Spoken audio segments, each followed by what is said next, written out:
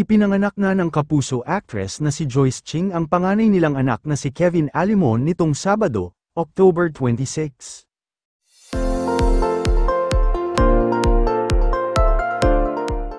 Ang masayang balita ay ibinahagi ng aktres sa kanyang Instagram page kalakip ng kauna-unahan nilang family picture. Our firstborn is finally here. We love you so much, our little How How. Thank you to everyone who prayed for us, sabi ni Joyce sa caption. Marami naman sa mga netizens pati na rin sa kanilang showbiz friends ang nagpaabot ng kanilang mensahe para sa mag-asawa.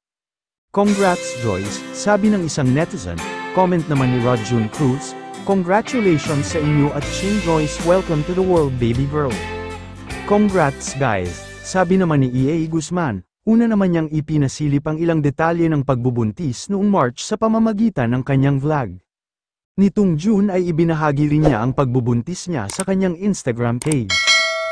Samantala, sa ibang balita, magdodonate ng 1 million pesos ang Super P-Pop Girl Group na bini para sa mga kababayan nating nasalanta ng bagyong Christine.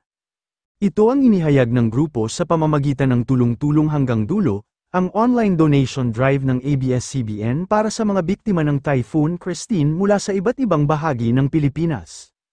Ayon sa leader ng bini na si Joanna Robles, ang isang milyong pisong donasyon ng grupo ay magmumula sa kita ng kanilang Grand Believers Concert.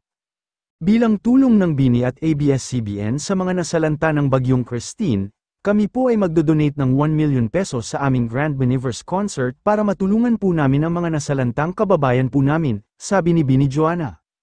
Ang halagang ito ay maging panimula po sana ng mga donasyon sa ABS-CBN Foundation, magtulungan po tayo para makatulong sa mga kababayan, it's our way of giving back din dahil yung mga blooms din po talaga yung sumusuport din po sa amin, sabi pa niya pagkatapos ng kanilang performance sa ginaganap na tulong-tulong hanggang dulo.